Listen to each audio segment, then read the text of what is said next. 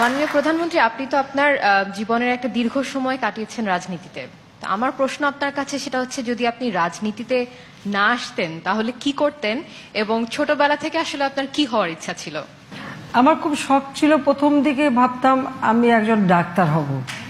তো ধর এসএসসি পরীক্ষা দিলাম, দেখলাম অঙ্কে খুব বেশি ভালো না কাঁচা। আর তাছাড়া আমি ভর্তি হয়ে মানে কেন যেন আবার সায়েন্সে পড়তে যাইনি। যেহেতু আমার বন্ধু বান্ধব সব চলে বেশিরভাগ গেল আর্টসে তো স্কুলে ক্লাস নাইন থেকেই তো আমি আর্টসেই চলে গেলাম। কাজে আর ডাক্তার হওয়া হলো না। এরপর চিন্তা করতাম আমি শিক্ষক হব। আমার জীবন ওটি শখ থেকে ছিল, আবার শিক্ষক মানে প্রাইমারি স্কুলের শিক্ষক, বাচ্চাদের পড়াবো। বাংলাদেশকে এগিয়ে নিতে আপনি সবসময় নিজের দিকে না তাকিয়ে সবসময় কাজকেই ভালোবাসেন। তো আমার প্রশ্ন যে আপনি নিজের শরীরকে কীভাবে ঠিক রাখছেন? এবং সেটা কি এক্সারসাইজের মাধ্যমে নাকি ডায়েটের মাধ্যমে? হ্যাঁ আমাদের জীবনে রুটিন ঠিক থাকে না। তো এটু- এটুকু বলব যে ফিট থাকাটা হচ্ছে, একটা হচ্ছে যে আমি নামাজ পড়ি নিয়মিত। অন্য কোনো আর এক্সারসাইজ খুব একটু হয় না। তবে আর আসলে এই গণভবনে থাকা অনেকটা বন্দি জীবনের মতন।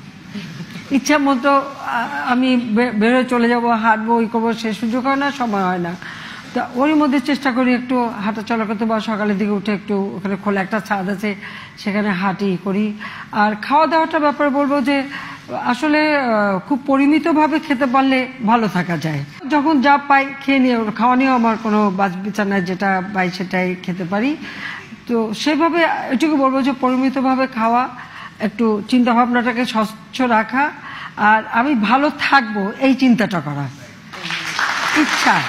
আমি বলব ইচ্ছা শক্তি চর্চা বড় জিনিস। আমরা আপনাকে সবসময় এত হাসি খুশি দেখেছি। তো ব্যক্তি জীবনে আমি জানতে চাচ্ছিলাম আপনি নানি বা দাদি হিসেবে কেমন? অথবা আপনার নাতি নাতনির সাথে আপনার সম্পর্কটা কি? সেটা আমার নাতিদের জিজ্ঞেস করলে বলবে। আমার খুব ভালো লাগে। ওই ছোট্টগুলি থেকে শুরু করে বড় সকলের সঙ্গে আমরা লুডো খেলি, আমরা ক্যারাম খেলি, আমরা দাবা খেলি, আমরা তাদের সঙ্গে ছুটোছুটি করি বা যতটুকু পারি সব সময় আর একটু আমার নাতি নাতনিরা আমার হাতে রান্না পছন্দ করে, তো যে যেটা খেতে চায় আবার একটু রান্নাও করি। আর ছোট্ট একটা আছে, সে আবার খুব ডিমান্ডিং বলে দেবে, তুমি রান্না করবে। এই ববির ছোটটা। তুমি রান্না করবে। রানতেই হয়। হ্যাঁ এই এই রান্না- নির্দেশ তো মানতেই আবার অনেক সময় সে কোলে চড়ে বসে আবার আমাকে ইয়ে দেয় নির্দেশ দেয় এটা দাও ওটা দাও ওটা দাও।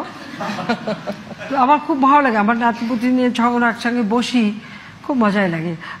ক্যারাম খেলার সময় একটু চিটিং করে সেটা আবার ধরতে হয়। লুডো খেলার সময় ওটা এগুলি হয়। তারপরে একসাথে এখন অবশ্য বেশি চকলেট টকলেট খাই না আবার এক সময় ছিল যে ভাগ বটরা করে খাওয়া ই করা।